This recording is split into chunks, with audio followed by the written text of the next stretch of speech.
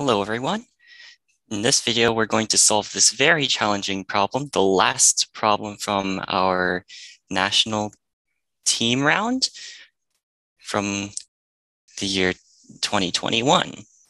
So let's go ahead and read this problem. Mr. Redheart's favorite number is 8, and his next favorite number is the least power of 2 who is eight digits immediately to the left of the units digit can include seven eights and one other digit k. If his next favorite number is two to the n, we want to compute the last two digits of k plus n. So what this might look like is this next favorite number will look something like this. So we will have some nine digits here. And here's the units digit, and seven of these eight digits are eight, and one of these digits is k. So this is a very challenging problem. And um, it, even though we don't have the luxury of doing this in the actual um, contest, what we can do is ask the internet afterwards. So let's see what this forum post has to offer. So here are some indication of hints here. So first of all, considering that 2 to the n has at least nine digits, it's safe to assume that n is big enough for our general purposes having to do with modular arithmetic or something. So next, we can just let this digit here be z. Um, and this, of course, isn't zero because this whole number is supposed to be a power of two, so it can't end with zero. And um, since n is at least 20, it, this number here should be divisible by something like 2 to the 20. Okay, so what does this give us? It gives us that it's divisible by a bunch of smaller powers of 2, and, and now in order for a number to be divisible by 2, 4, 8, 16, and so on for a bunch of multiples of powers of 2. What we can do is just check the last m digits to check if it's a multiple of 2 to the m. So that is the divisibility rule for any power of 2. So, for example, for these 9 digits, all we need to do to check if the whole number is divisible by 2 to the 9 is to check these last nine digits. And that's how we will try to find out what these digits are. So let's go ahead and look at these last three digits here.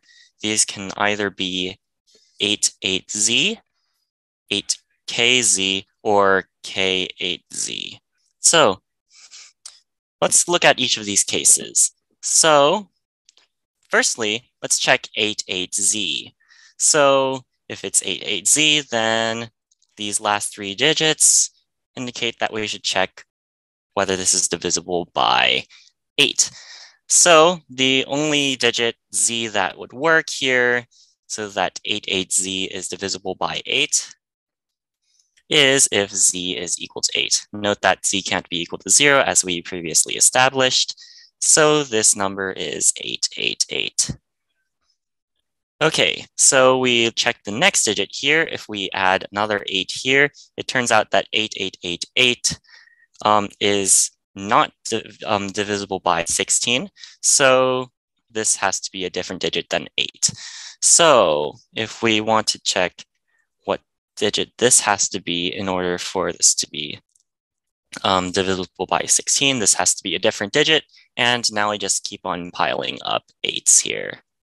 So once we add some more eights here, we can then determine um, what this digit here is by, by our knowledge that this should be divisible by 2 to the 7. And by solving a modular equation, we, um, we can determine that this has to be 5.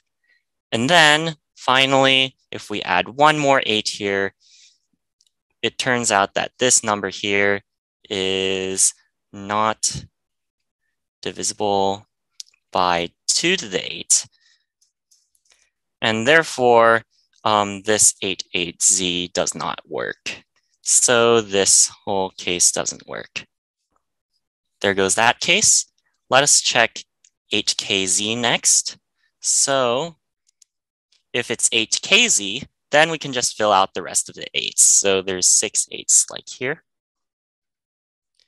Okay, so now we proceed to try to solve the modular equation that this number here is divisible by 2 to the 9, and that might look something like 8, 8, 8, 8, 8, 8, 8, 0, 0, plus some two-digit number kz is 0 mod 512. And solving this gives um, the two-digit number kz is 32 mod 512, and this can just be gotten by dividing this whole number by 512. So this gives exactly one solution. So this whole case here, so after solving that, this whole case gives 832. Finally, let's go ahead and look at this case here, K8Z. Then again, we can um, pile up all these digits here. There's must be six eights like that, and this must be divisible by two to the nine. And so you set up a modular equation here as well. Zero plus 100k plus z is um, 0 mod 512. And it turns out when you solve this, you do not get any solutions where k and z are digits. So we can eliminate this case here. So what are we left with? We're simply left with the only solution is when this ends in 832. And so this number here is simply a number that ends with 8, 8, 8, 8, 8, 8, 8, 3, 2. And we can determine that um, the digit k is 3. So that's the first part of the problem. So the second part is trying to determine what n is. And we don't actually need to determine the exact value of n because it asks to compute the last two digits of k plus n. Since we know what k is, we just need to find the last two digits of n in order to compute the last two digits of k plus n. In other words, we need to find n modulo 100. So as we determined to the end um, ends with 832. So let us try to find n mod 100. So from here, let's just try to use some uh, standard modular arithmetic tricks. So let's go ahead and take these last three digits and try to use them to our advantage. So we know that 2 to the n is 832 modulo 1000. And what we can do here is use the Chinese remainder theorem to simplify our problem. So firstly, we have the mod 8 part to the n is 832 is divisible by 8, so it's 0. This um, we already know since n is greater than 20, this is obviously going to be 0 mod 8 for all n greater than 3. So what we want to focus on instead is the other one. That is mod 125. And this modulo 125 is 82. So we'd like to find the appropriate n.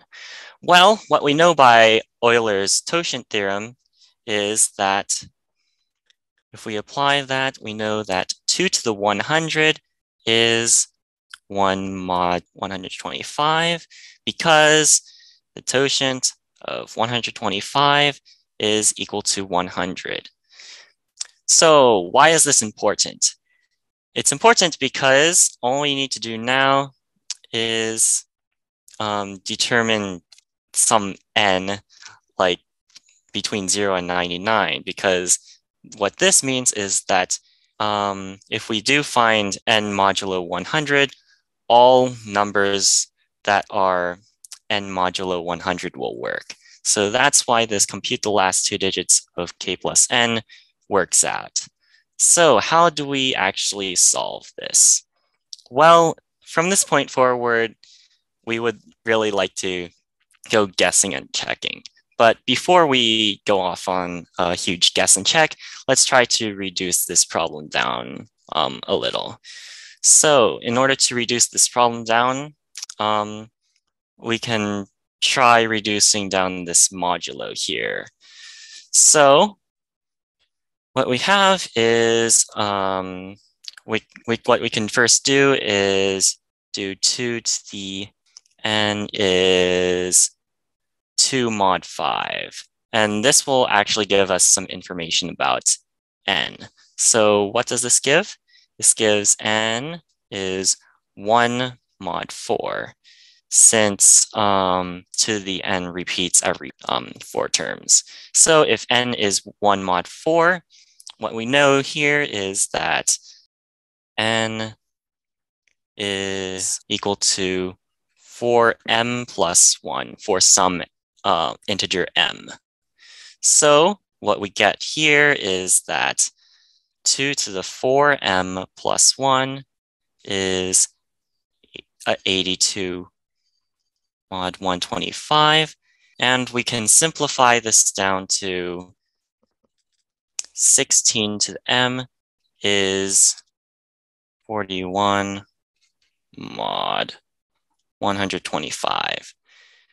And the benefit of this is that we just need to check um, m for 0, 1, 2, dot, dot, dot, all the way up to 24. So that's certainly less cases to check. So let's go ahead and erase here. So we know that n is 4m plus 1, and m satisfies this modular equation here. What can help um, speed up our computation is that 16 squared actually happens to be 256, which mod 125 is just 6 mod 125. So at this point here, if we just consider all odd m and all even m, we can just keep on raising powers of 6. So we would want to check all of the cases where we have 1 uh, and 16 here. And then we'd want to check 6, 6 times 16, um, 6 squared, 6 squared times 16, and so on and so forth, all the way up to 6, 12 to the 12 and 6 to the 12 times 16. So checking all of these will give us the answer. And what we can get after checking all of these is that the only solution is m is 11 mod 25. And therefore, n is 4 times 11 plus 1, or 45 mod 125, like mod 100, sorry, mod 100. And therefore, our answer is our last two digits of k plus n, um, which is um, k plus n modulo 100, is k plus n. So we know that k is 3, n is 45, and this modulo 100 is 48.